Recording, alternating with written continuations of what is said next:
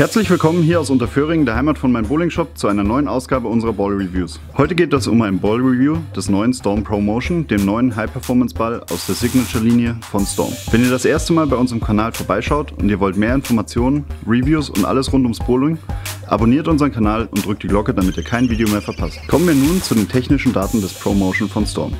Beim ProMotion haben wir die Spec Solid Reactive Oberfläche, die bereits im Crux Prime verwendet wurde, haben ein 2000 Grit Abrolon Finish und haben den Duft Vanilla Snap. Im Inneren befindet sich der Piston Core. Der AG-Wert bei 15 Pfund beträgt 2.52, das Differential 0.049. Ein PSA-Wert bzw. Intermediate Differential gibt es nicht, da dieser Kern symmetrisch ist. Gespielt wird der Ball von mir, Stormstaff-Spieler und Emax-Staff-Spieler Manuel Mrozek. Ich habe den Ball mit dem Layout 50 x 4,5 x 50 gebohrt. Gespielt habe ich den Ball bei uns im Dreamboat Palace auf unserem Pattern Sweeter Dreams, welches 42 Fuß Länge hat. Ich werde euch jetzt einige Würfe mit dem Ball zeigen. Im Anschluss werdet ihr ein Fazit von mir hören, was ich über den ProMotion denke, was seine Stärken und seine Schwächen sind.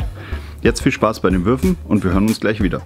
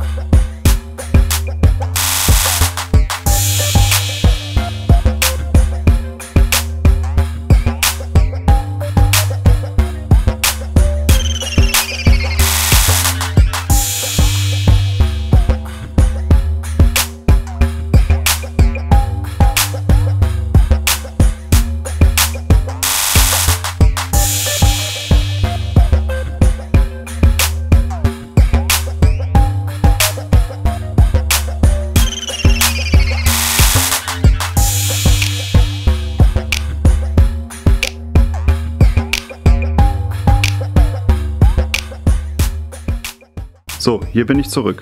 Ich hoffe, euch haben die Würfe gefallen. Wenn ihr mehr Reviews sehen wollt, wie dieses, einfach den Kanal abonnieren und die Glocke drücken, dann werdet ihr immer informiert, wenn wir ein neues Video bringen. Ich komme nun zum Fazit über den neuen Storm Pro Motion aus der Signature-Linie. Zuerst kann ich nur sagen, wow. Storm hat hier in Zusammenarbeit mit Jason Bemonte ganze Arbeit geleistet. Dieser Ball ist das, was Storm im Sortiment gefehlt hat seit dem Wegfall des Marvel S. Für mich bedient dieser Ball exakt die Lücke zwischen dem Storm Supersonic und dem Storm Crux Prime. Der ProMotion rollt klarer an in den Midlanes, verliert jedoch nicht so viel Energie wie der Supersonic. Aus meiner Sicht bleibt der ProMotion auch deutlich stabiler in der Laufphase. Für mich stand heute der Benchmark-Ball aus dem Hause Storm nach dem IQ Tour. In Summe gesagt ist der ProMotion ein stärkerer IQ Tour, jedoch ohne zu viel Backhand zu bekommen bzw. sprunghaft im Backhand zu werden. Man muss hier ganz klar sagen, wer ein Ölmonster sucht, wird mit diesem Ball nicht glücklich bzw. wird eher enttäuscht sein, da der ProMotion kein großes Tamtam -Tam zeigt, sondern ganz klar und beständig rollt und bewegt.